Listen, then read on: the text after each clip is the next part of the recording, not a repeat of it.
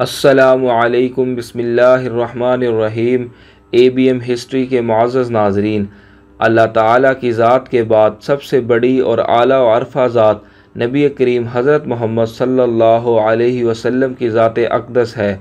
अल्लाह ताला ने अपने नाम के साथ नबी करीम सल्लल्लाहु अलैहि वसल्लम के नाम को साथ रखा है और आप सल्लल्लाहु अलैहि वसल्लम को अल्लाह ताला ने इमामुल अम्बिया और सैयदुल बनाया है।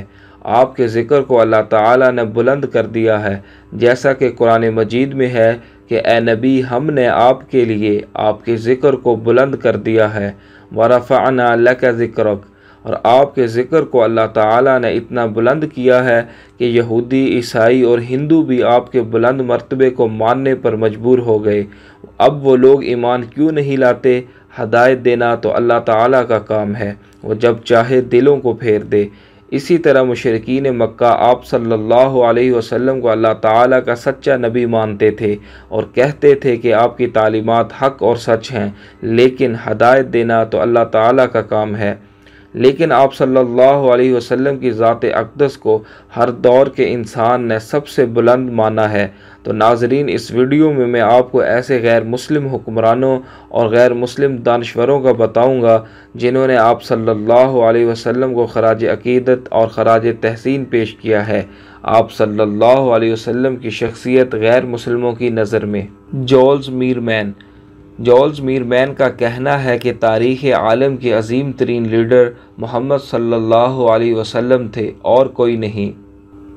माइकल हार्ट माइकल हार्ट का कहना है कि तारीख़ आलम की वाद हस्ती जो मजहबी और दुनियावी दोनों सतहों पर हद इंतहा तक कामयाब हुए, वो मोहम्मद सल्लल्लाहु अलैहि वसल्लम थे। दीवान चंद शर्मा दीवान चंद शर्मा का कहना है कि मोहम्मद सल्लल्लाहु अलैहि वसल्लम रहम करम और मेहरबानी का पैकर थे। इनके मुक़दस वजूद के असर को महसूस किए बगैर कोई शख्स रह ना सकता था और कभी इन्हें कोई नहीं भूल सकता था।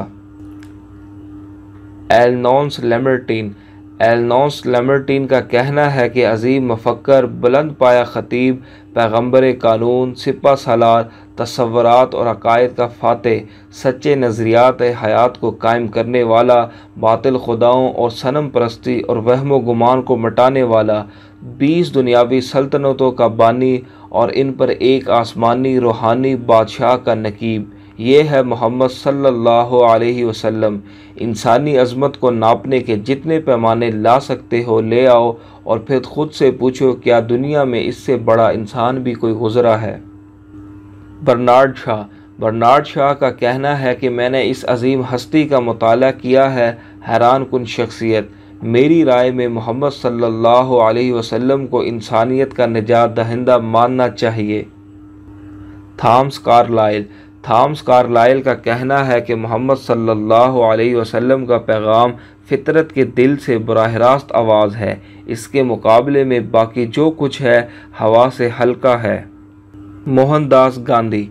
मोहनदास गांधी का कहना है कि मोहम्मद सल्लल्लाहु अलैहि वसल्लम के अकवाल मुसलमानों के लिए ही नहीं, दुनिया के तमाम इंसानों के लिए इल्म हिकमत का ख़जाना है। R V C Bodley. R V C Bodley का कहना है कि आप सल्लल्लाहु अलैहि वसल्लम की अजमत देखिए, जिन्होंने एक जहाँ को बदल डाला, लेकिन अपना मिसाली तर्ज ज़िंदगी वही रखा। रेवरेंड स्मिथ रेवरेंड स्मिथ का कहना है कि तारीख़ की यकता मिसाल मोहम्मद सल्लल्लाहु अलैहि वसल्लम, एक कौम, एक सल्तनत और एक मज़हब के ताजदार हैं।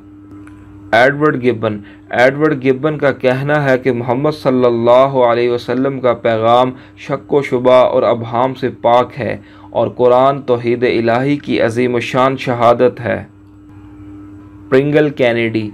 प्रिंगल कैनेडी का कहना है कि इंसान की सलाहियतों का मुंतहा और कमाल मोहम्मद सल्लल्लाहु अलैहि वसल्लम थे। Doctor Marcus Dods doctor Marcus Dods का कहना है कि मोहम्मद सल्लल्लाहु अलैहि वसल्लम ने मज़ाहब के हर अकीदे की असलाह कर दी और अरबों को दुनिया की सबसे बड़ी कौमों के आगे खड़ा कर दिया। डॉक्टर मोडी रॉयडन। डॉक्टर मोडी रॉयडन का कहना है कि इस्लाम की मसावत, मसीहों की मसावत की तरह महज अफसाना नहीं।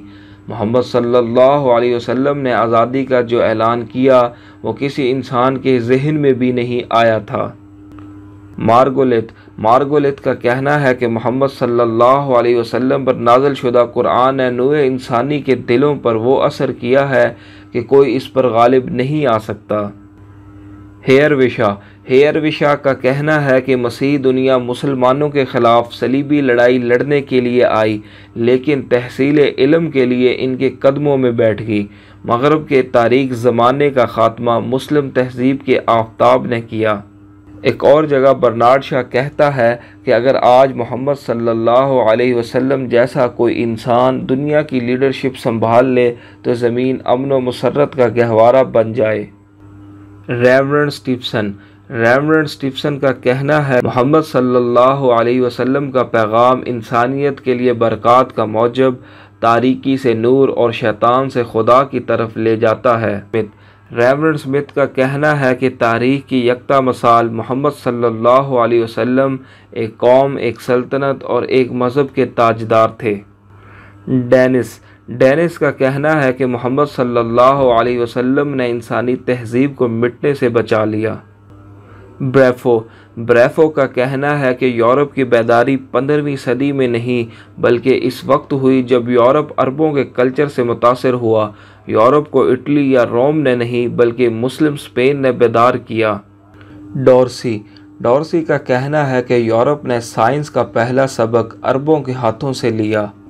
Sir William Muir. Sir William Muir का कहना है कि बुत परस्ती और तारीख व तहमात को ख़त्म करने वाला तोहद और रहमत का तस्वर देने वाला, ईमान की बिना पर बरदराना महब्बत, यतीमों की परवरिश, ग़ुलामों से एहसान, शराब की ममानत, जो कामयाबी इस्लाम ने हासिल की, किसी और मज़हब को नसीब नहीं हुई।